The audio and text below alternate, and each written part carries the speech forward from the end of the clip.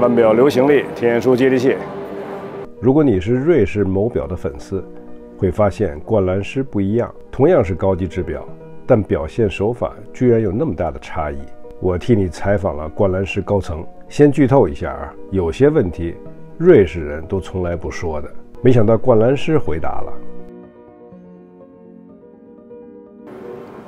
Thank you. Thank you for your time. Regarding the modern version of GS44, one of your design code is the inward slanted bezel and case side. Other than making the watch look thinner, what other visual effect do you expect from the inward slanted uh, surface of a watch? あの内側に傾斜させると時計のあのアウトラインっていうのは上面の両線になりますねで、えーまあ、アウトラインが この一つの鋭い線に集約されますので美しいビューティフルな切れが生まれます。でまたあの側面が内側にあると陰りますので、うん、その影になると光り輝いてる上面とこの影のところにハイライトコントラストが生まれるので時計の像ですねがより明確になります。I appreciate very much your approach in lowering the center of gravity of a watch and also upgrading the comfortability. Do you have any plan to design more luxurious or chic sport watch? まあ今後の計画についてはお答えできないんですけどえー我々のデザインっていうのはまあよりハイエンドなパッケージにも適合できると考えています As with the Evolution 9 style, for example, the SLGH005 with the white birch assortment by Mr. Kiyotaka Sakai. うん Yes One of your white birch watches case lugs are straightened up and cut short. I understand this can also eliminate the so-called Admiral face look. Uh, what is the point of shortening the lug?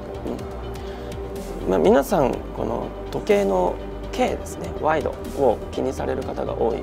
んですけれどもあの、まあ、むしろ重要になってくるその腕の細さに対して重要になってくるのはラグトゥラグなんで時計の長さの方がより重要になってきます。まあ、その我々としても装着性に配慮する、うん、上ではここを短くすることが重要だと考えています。How would you define sport in the context of a high watchmaking? And what are the GS interpretations on sport? Maybe Japanese sport philosophy? まあ、スポーツっていうのは、まあ、時計製造においてはとても重要なものだと考えております、まあ、技術的な発展っていうのも、まあ、スポーツ由来のものがとても多いですし、まあ、高級時計とスポーツっていうのは文化的にも、まあ、互いを尊重してきたんだと思っています。で、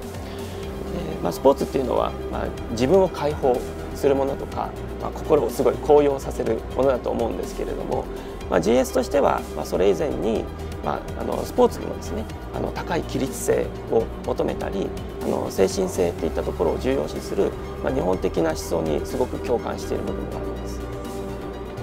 Well, the industry is focusing more on in-house automatic movement or complications. What are the highlight of your new hand-wound caliber 9SA4? まああの新しいキャリバーもあのすごくあの GS らしくアンダーステーテッドな、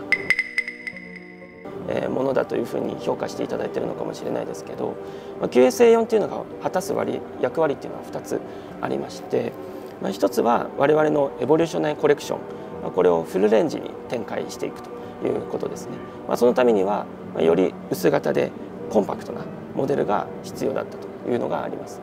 でもう一つはですねあの GS のメカニカルムーブメントをよりエモーショナルな方向にレベルアップさせるということです。まあ、ですので、まあ、そういった考えの中で特段今回こだわっているのが、えー例えば触覚だったり視覚だったり、あるいは聴覚ですねに、訴えかけてくるような、新しい手巻き機構の開発でした。Okay. 怎么样？这采访有点意思吧？说明灌篮诗还是很重视咱们腕表流行力的粉丝的。